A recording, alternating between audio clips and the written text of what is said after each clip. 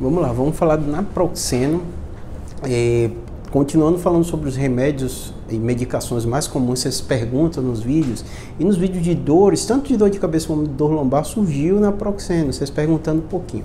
Então o que que acontece? Naproxeno é um anti-inflamatório não esteroidal, bem antigo, provado em, pela FDA na década de 70, 76, é bastante utilizado lá nos Estados Unidos, aqui no Brasil também, no mundo inteiro, mas nos Estados Unidos em especial, um dos remédios mais prescritos lá, né?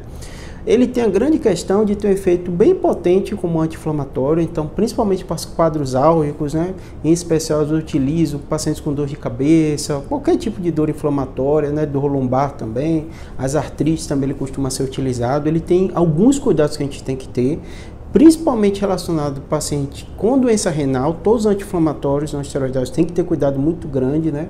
A maioria das vezes a gente evita prescrever essas medicações para pacientes com problemas renais, porque pode agravar o problema renal, né? Mas é, é a avaliação individual, o médico que vai ser o médico que vai decidir, né? Não é uma contraindicação absoluta, mas tem que ter um cuidado, em especial com quem tem qualquer tipo desse risco. A mesma coisa com problemas gastrointestinais, principalmente pacientes que têm úlcera, né, ou dispepsia, alguma coisa assim mais importante, que isso pode ser agravado também.